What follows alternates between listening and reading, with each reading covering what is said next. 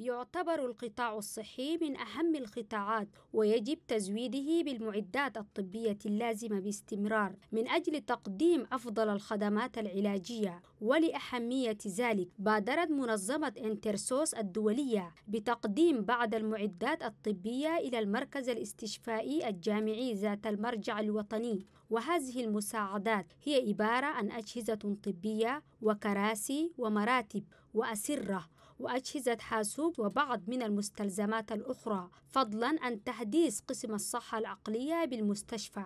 بايرو جينغاو مشرف الأنشطة الطبية بمنظمة انترسوس قال إن منظمته هي منظمة إنسانية دولية تأسست في إيطاليا منذ العام 2004 والهدف من إنشائها الوقوف بجانب المواطنين فضلا عن مكافحة العنف القائم على النوع من خلال أنشطة الوقاية والتوعية. المدير العام النائب للمركز الاستشفائي الجامعي هيسين كورومي تاتا أشاد بهذه البادرة موضحا بأن القطاع الصحي شأن يهم الجميع.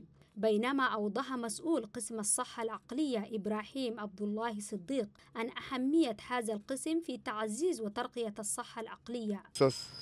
سوي لنا جميل كويس مرات خلانا لين ذاتك أنتنا معنويات هي عشان نخدمه.